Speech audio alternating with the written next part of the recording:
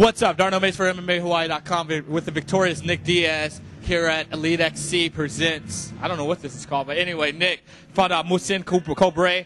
Dude was on his bicycle the whole time. You want to talk us, talk us through it? Uh, you know, the guy's a good guy. He's a tough guy. You know, he's real confident. Real confident. That's what was doing it for him. That's what was discouraging me the whole time. Was this guy's confidence. I'm like, you aren't any good, dude. But you know. I mean, he, looked good. Oh no, he, you know, he stayed tough. And when I hit him with everything, you know, uh, I couldn't quite set up a good shot because he just, you know, he was tough. You know, I couldn't.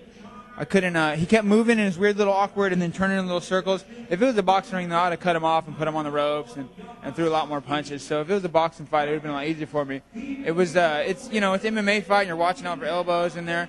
I felt I landed a couple good elbows myself. Uh, but I'm pretty disappointed in my performance overall, though. Uh, you know, I, I wasn't feeling real explosive today. You know, I had you, when if I'm if you're gonna find Hawaii, uh, some advice for me to you, anybody out there. Uh, you know, they have you out here Wednesday. They're having you be out here Wednesday, fight Saturday. Try to get out here two days early. You know, it's, it's a different climate here.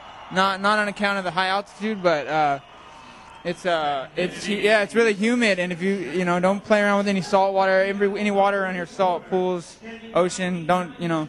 So uh, you know, fuck you up. You know what I mean? Uh, That's kind of what happened with you. Like, uh, yeah, a little bit. I don't like to make excuses. You know what I mean? I come prepared. I just fought a month ago, though. Usually, you know, most fighters have like a whole three months or so, or even a whole year. But uh, I got to make, you know, I can't just retire right now. You know what I'm saying? If I want to, and uh, that's why this is a job. Uh, and uh, I got to get paid, so got to do what you got to do, you know. so, uh, what do you want to do next, or uh, who do you want to fight next? to fight everybody in the world who's considered a better fighter than me. Okay? You won't go me Yeah, they can eat shit and fucking we can fight. You, you, Sure. you, actually, uh, would you fight Gomi again? You already, I mean, you already go-goed him, but would you? Yeah, but I already beat him, so I want to focus on somebody that's more important than him. okay. You know. Hey, so Like for instance, that man in there who's got my belt, who's about to fight. Yeah, but you know, I figure he's gonna lose right now. Anyways, you never know.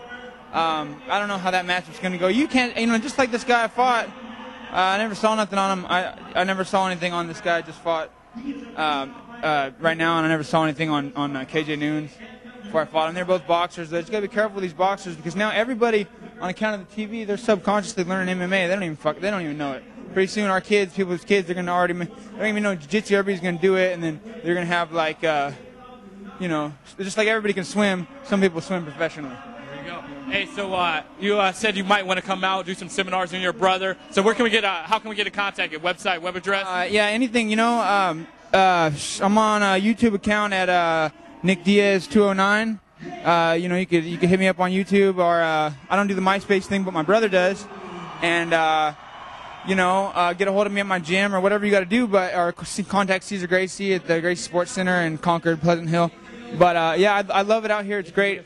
It's great, you know. Uh, not so much for making weight and, uh, and and getting ready to fight or fighting. You know, it's nice to be here, you know, before fight or whatever. But uh, um, you know what I mean. Training here overall, just you know, running and working out and training and this, you know, and walking at nighttime shorts, and sand. That's great. You know, I love it. So. and real it's quick, my scene. that fight, shout out your sponsors. Shout out to your sponsors. Oh yeah, yeah. Uh, I'd like to thank Chase Chevrolet, and uh, I don't know if he's going to hear it or not, but uh, I didn't get a chance out there. I wanted to get it in and out of there. You know, Goldberg get me talking and sound like an asshole or something. Uh, but I want to I want to thank Dr. Frank, Dr. Frank Styles from Vegas, MD.